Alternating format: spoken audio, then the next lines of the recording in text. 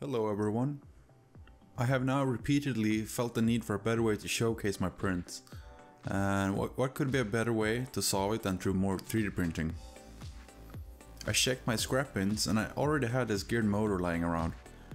Originally I was gonna use this for a mini lathe power feed, but I guess I'll have to get more of these motors. Anyway, this is just a simple DC motor with some insane gear ratio, so the output shaft delivers around 25 RPM. Taking a look inside and it seems fairly decent. Nothing looks uh, obviously budget about it. I'm a bit unsure about what kind of rotation speed I'm looking for, so we'll see if this is good or not.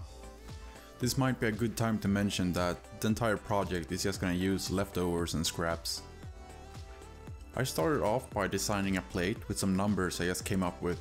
It's around uh, 18 centimeters in diameter to make it easy to print in one whole piece. I ended up making the top thinner and reinforcing it with some walls to save on material and printing time compared to making the entire thing thicker. Not to mention it just looks cooler with some more details. Next step is of course making some kind of base for this, as I can't just have the motor lying on its back. This is what I came up with after looking for more scrap switches and battery holders to see what I had to work with. It's a pretty simple design, just meant to provide some stability and cover up the void underneath. It also gives a place to mount the on-off switch, motor and battery. I ended up printing this one on one of the review machines from GearBest as it was already loaded and ready to go. The motor mount comes in a separate piece and I was hoping a friction fit would be enough to hold the motor in. And most of the time it works pretty good but if I were to redo this I would either use screws or hooks to keep it in place. Especially if you want to remove the spinning table, you tend to take the motor out as well, which wasn't my intention. Time for a quick wire up to see how it runs. Trust me, I'm aware that this is some really quick and dirty soldering. Since I have no idea how 25 RPM is gonna look, I'm just gonna hook it up straight to the battery and test it out. The wiring is pretty straightforward. Positive from the battery to the switch, from the switch to the motor, and from the motor to the negative on the battery.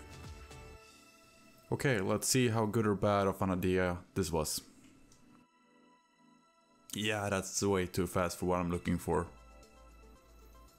This motor is meant for 12 volts, which is what I'm currently running it at, but let's see what we can do by removing some batteries from the pack. After some tinkering with this, I ended up with just 3 volts, 2 AA batteries to get the speed I'm looking for. Beside the table being slightly crooked, I'm super satisfied with this. A modified table was designed with a bit more meat around the motor shaft and slower print speed to keep everything accurate this time. Well there you go, the power of 3D print prototyping. This entire project took me just a few hours of active work from CAD to finished prototype. Thanks for watching, feel free to drop a comment, thumbs up or subscribe if you wish to see more of my content and help my channel grow.